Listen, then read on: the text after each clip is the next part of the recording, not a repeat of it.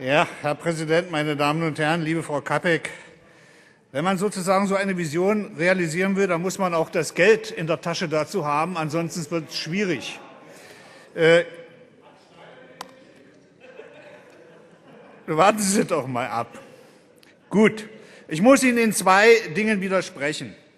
Das erste ist das großartige Geschenk von 200 Millionen. Ich weiß nicht, ob es ein Geschenk ist. Ich weiß, der Bund geht in die Finanzierung mit 200 Millionen. Er ging auch bei der Staatsoper mit 200 Millionen äh, in Finanzierung. Jetzt setze ich mal drei Punkte. Schauen wir mal, was daraus wird. Ich hoffe, das Projekt funktioniert. Äh, die vorhin schon von Frau Hausdorfer angesprochene ÖPP-Finanzierung, die lehnen auch wir strikt ab. Das ist also irgendwo Voodoo und bestimmt nicht gut für die Stadt. Zum Thema Unort. Das ist eine hübsche Diskussion, die Sie hier eben losgetreten haben. Ich darf äh, einen der Vorgänger äh, von Herrn Senator Geisel zitieren. Äh, der sorgte dafür, der seinerzeitige Senator für Stadtentwicklung, dass 30 Pflanzen namens Ailanthus altissima, schöner Name, ne? Ailanthus altissima sind Götterbäume, dort in den märkischen Sand gesteckt wurden und die siechen seitdem mehr oder weniger optimal vor sich hin und hoffen nun darauf, dass sie erlöst werden von ihrem irdischen Dasein. Äh, das wird dann auch hoffentlich passieren. Das wird dann auch hoffentlich passieren. Die stehen genau auf diesem Baufeld, was zur Untersuchung vorgesehen ist an der Potsdamer Straße für das Museum der Moderne.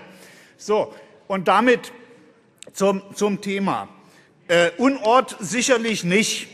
Aber wir haben hier einen vollkommen vermurksten Stadtraum vor uns stehen, der so seine eigene Geschichte hat, an die man doch ab und zu mal erinnern sollte. Erstens, äh, dieser Museumsstandort wurde seiner Museums- und Kulturstandort, Philharmonie etc., wurde seinerzeit gebaut im Schatten der Mauer. Die Mauer ist Gott sei Dank weg, aber entsprechend sieht das da auch immer noch irgendwie aus von der Struktur her. Dann muss ich daran erinnern, wir haben ja hier im Saal solche Tangentenfreunde. Äh, genau, solche Tangentenfreunde. Im Schatten der Staatsbibliothek sollte mal die Westtangente langgezogen werden, vierspurig. Die gibt es nun auch nicht, aber die Schneise existiert immer noch. Und jetzt habe ich einfach Probleme, jetzt, ach, sechsspurig, genau.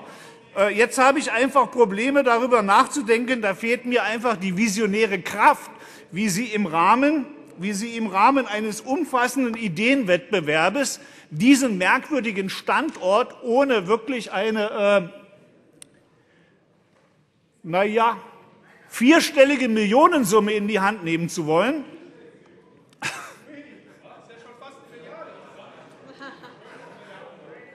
Naja, das dürfte es vielleicht kosten.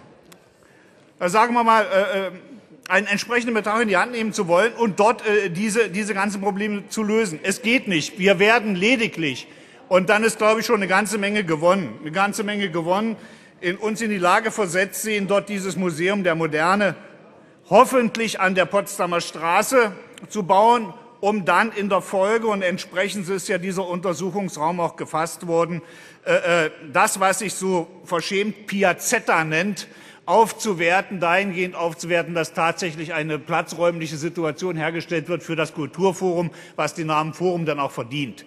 Das wäre schon viel, viel, viel gewonnen, wenn man das hinkriegt. Was wir uns wünschen, was wir uns wünschen, ist eine große Transparenz im Verfahren von Anfang an. Hier schließen wir uns durchaus an den äh, Intentionen der Grünen, die hier schreiben, dass die äh, äh eingehenden Wettbewerbsbeiträge des offenen Ideenwettbewerbs bereits vor der Jurierung möglichst öffentlich auszustellen sind, diskutiert werden können. Hier wird in vermutlich sehr kurzer Zeit ein weiterer, äh, äh, ein weiterer Pfosten in den Stadtraum gesetzt, der lange Zeit stehen bleiben wird.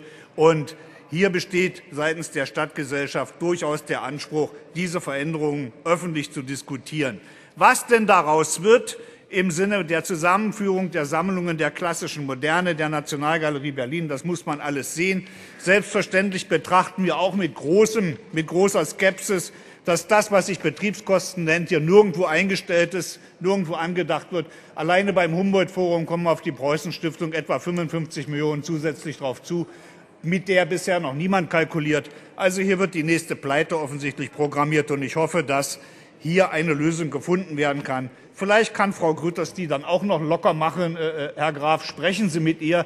Aber weisen Sie bitte die äh, Kollegin äh, Staatsministerin darauf hin, dass es dann keine Einmalzahlung, sondern diese Betriebsmittel sind dann jährlich fällig. Das ist ein ziemlicher Batzen. Vielen Dank für die Aufmerksamkeit.